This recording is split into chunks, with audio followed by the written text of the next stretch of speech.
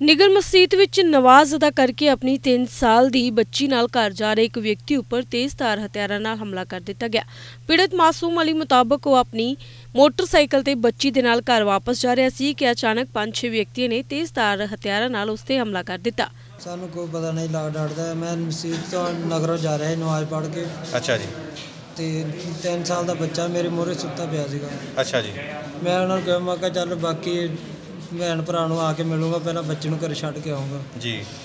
ਇਹ ਮੈਂ ਸ਼ੌਰ ਦੇ ਵਿੱਚ ਕੜਿਆਣੇ ਦੇ ਦੋਨਾਂ ਦੇ ਵਿੱਚ ਮੈਨੂੰ ਵਾਰਦਾਤ ਕੀਤੀ ਮੇਰੇ ਉੱਪਰ ਹਮਲਾ ਕੀਤਾ। ਪੰਜ ਛੇ ਬੰਦੇ ਸੀਗੇ ਜੀ। ਉਹ ਬੰਦੇ ਅਸੀਂ ਪਛਾਣਿਆ ਜੀ ਬਾਕੀ ਦੇ ਨਹੀਂ ਹੈਗੇ।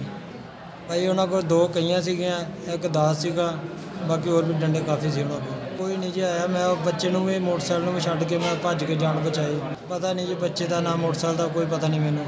ਡਾਕਟਰ ਸਾਹਿਬ ਤੇ ਇੱਥੇ ਲੈ ਕੇ ਆਇਆ ਮੈਨੂੰ ਕੋਈ ਹੋਸ਼ ਨਹੀਂ ਸੀ ਮੈਨੂੰ ਹੁਣ ਮਾੜਾ ਜਿਹਾ ਹੋਸ਼ ਆਇਆ ਮਾੜਾ ਜਿਹਾ। ਦੂਜੇ ਪਾਸੇ ਪੀੜਤ ਦੇ ਪਰਿਵਾਰਕ ਮੈਂਬਰਾਂ ਦਾ ਕਹਿਣਾ ਹੈ ਕਿ ਉਹਨਾਂ ਵਿੱਚੋਂ ਦੋ ਦੋਸ਼ੀਆਂ ਦੀ ਪਛਾਣ ਕਰ ਲਈ ਗਈ ਹੈ ਪਰ ਇਹ ਹਮਲਾ ਕਿਉਂ ਹੋਇਆ ਇਸ ਬਾਰੇ ਜਾਣਕਾਰੀ ਉਹਨਾਂ ਨੂੰ ਨਹੀਂ ਹੈ।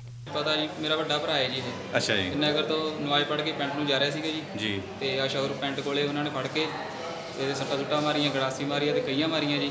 ਤੇ ਦੋ ਮੁੰਡੇ ਇੱਕ ਦਾ ਨਾਮ ਰਵੀ ਕੁਮਾਰ ਹੈ ਜੀ ਤੇ ਇੱਕ ਦਾ ਨਾਮ ਹਰਪ੍ਰੀਤ ਹੈ। ਤਿੰਨ ਚਾਰ ਬੰਦੇ ਹੋਰ ਸੀ ਉਹਨਾਂ ਨੂੰ ਅਸੀਂ ਜਾਣਦੇ ਨਹੀਂ ਕੌਣ। ਜੀ ਅਸੀਂ ਤਾਂ ਕਹਿੰਦੇ ਸਾਨੂੰ ਇਨਸਾਫ ਮਿਲਣਾ ਚਾਹੀਦਾ ਜੀ ਬਸ।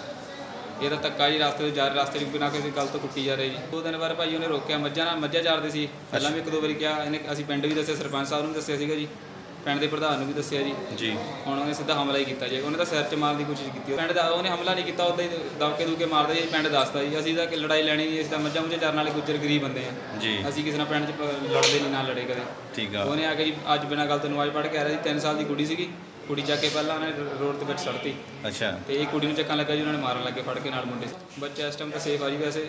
ਉਹਨੂੰ ਲੈ ਕੇ ਅਸੀਂ ਪਿੰਡ ਦੇ ਬੰਦੇ ਚੱਕ ਚੁੱਕੇ ਪਰਿਵਾਰਕ ਮੈਂਬਰਾਂ ਦਾ ਕਹਿਣਾ ਹੈ ਕਿ ਪਹਿਲਾਂ ਵੀ ਉਹਨਾਂ ਨੂੰ ਉਕਤ ਵਿਅਕਤੀ ਧਮਕੀਆਂ ਦੇ ਚੁੱਕੇ ਨੇ ਪਰ ਉਹਨਾਂ ਨੇ ਇਸ ਪਾਸੇ ਧਿਆਨ ਨਹੀਂ ਦਿੱਤਾ। ਪਰ ਹੁਣ ਉਹ ਪੁਲਿਸ ਕਾਰਵਾਈ ਕਰਵਾਉਣ ਦੀ ਗੱਲ ਕਹਿ ਰਹੇ ਨੇ। Bureau report Daily Post Punjabi.